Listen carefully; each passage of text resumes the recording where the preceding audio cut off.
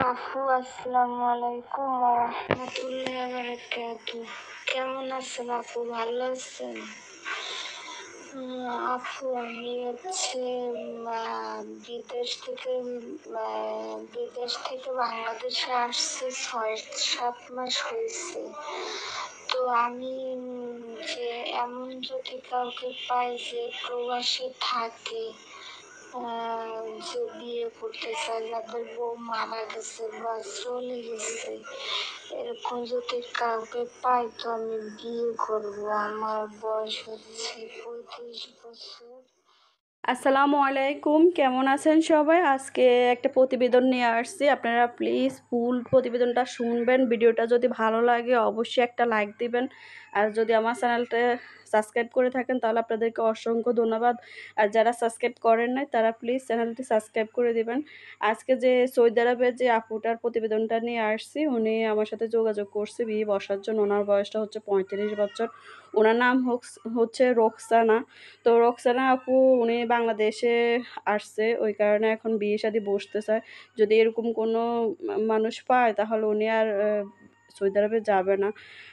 বিয়ে করে দেশে থাকি যাবে। যদি এরকম কোনো ভাইয়া থাকেন যে ওয়েব মারা গেছে বা ওয়েব চলে গেছে বা ওয়াইফে অসুস্থ আছেন, উনি এরকমও বিয়ে বসতে চায়।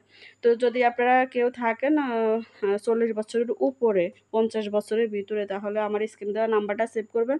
সেভ করার পরে ইমো, হোয়াটসঅ্যাপ আসবে। প্লিজ সবাই বয়েজে কথা বলবেন। আর আমি হচ্ছে আমার চ্যানেলে জামা কাপড়ের বিজনেস করি। পাশাপাশি আপুদের প্রতিবেদনও প্রচার করি। আপনাদের যদি জামা কাপড়গুলো ভালো লাগে, আপনাদের ফ্যামিলি কারোর জন্য নিতে চান, তাহলে অবশ্যই অর্ডার করবেন। আর আমি হচ্ছি লক্ষ্মীপুর জেলায় থাকি।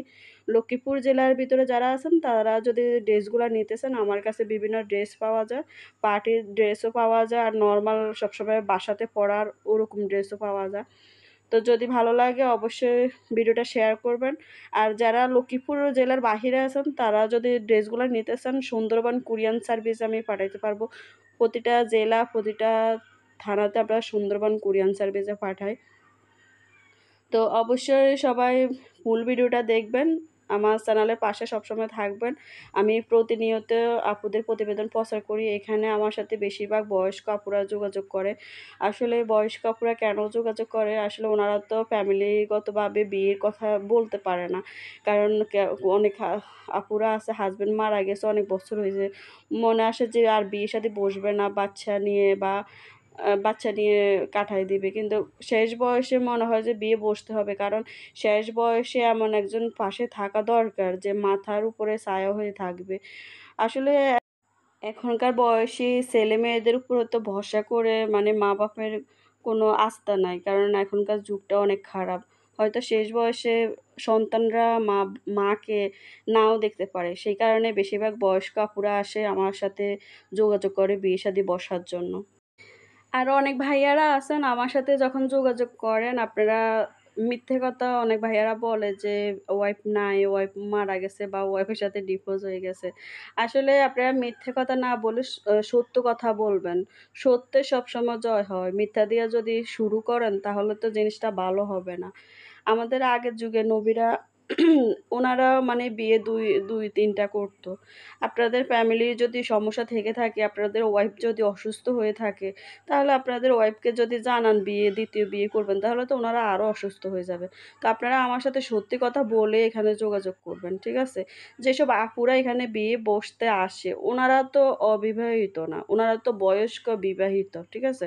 তো আপনার যদি ওয়াইফ আসে ফ্যামিলি আসে, এটা জেনে শুনে বিয়ে বসে, তাহলে তো আপনার জন্যই ভালো হবে। যেসব ভাইয়াদের উদ্দেশ্যে বলতেছি মিথ্যা দিয়ে যদি শুরু করেন তাহলে আপুরা যদি ওনার হয়তো ওনার নাম্বারটা আমার কাছ থেকে নিলেন, পরে জানলো যে আপনি বিয়ে করছেন ফ্যামিলি আছে, ঠিক আছে? ওয়াইফের সাথে ডিভোর্স হয় নাই ওয়াইফ অসুস্থ বা ওয়াইফ আছে।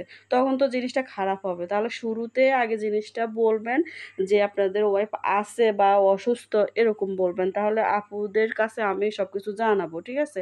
শুরুতে যদি আপনারা মিথ্যা কথা বলেন, তাহলে এটা কখনো ভালো হবে না। সত্যি কথা বলে এখানে যোগাযোগ করবেন।